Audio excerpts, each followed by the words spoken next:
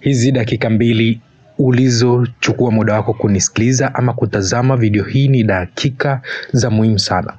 Ni kweli una mpenzi mwanamke au mwanaume unaenjoy, lakini naomba nikuambie kitu, mpenzi wako anatongozwa na wanaume mbalimbali, mpenzi wako anatongozwa ama anakutana na wanawake mbalimbali. Lakini je, hawa ambao anakutana nao kuna kitu wanamfanyia cha tofauti? Mpenzi wako anakutana na mwanaume au mwanamke ambaye anamnyonya. Ninaposema kumnyonya, namaanisha kwamba yule mwanamke ambaye anajua kucheza na koni, yule mwanaume ambaye anajua kucheza na kiarage, ndo uhalisia huo.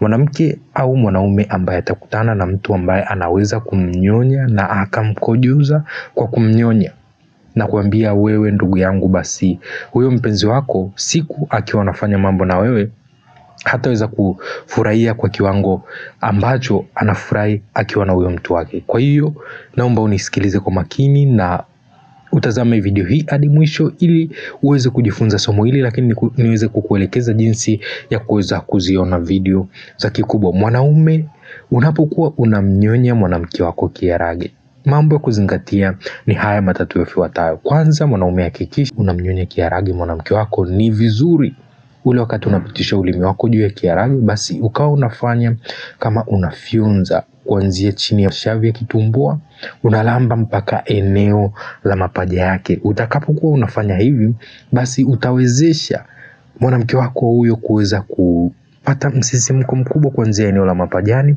basi mpaka katika eneo la kisimi ama eneo ambalo ndio lina utamu zaidi.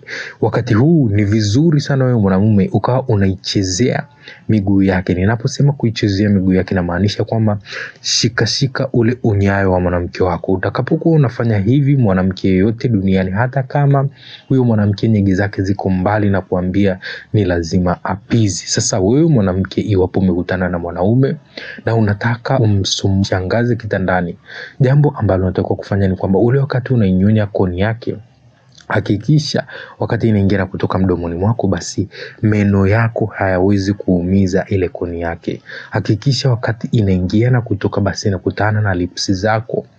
Ni vizuri ukawa unanyonya mboo ya mwanaume kwa lips na kwa ulimi kuliko kuingiza mpaka kooni.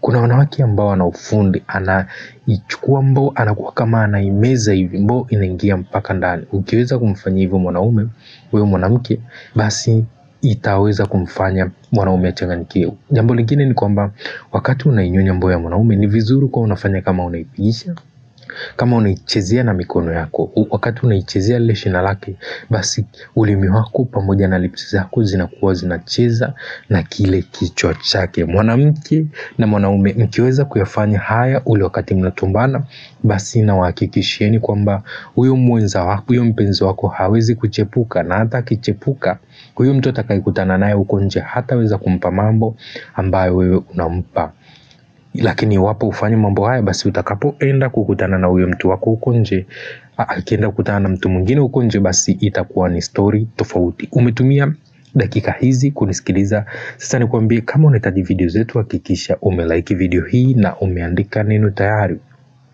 lakini pia jambo la muhimu ni kwamba kumbuka kusubscribe katika chaneli yetu ili uweze kuziona video zetu mbalimbali mbali. jina langu ni Dr. Love asante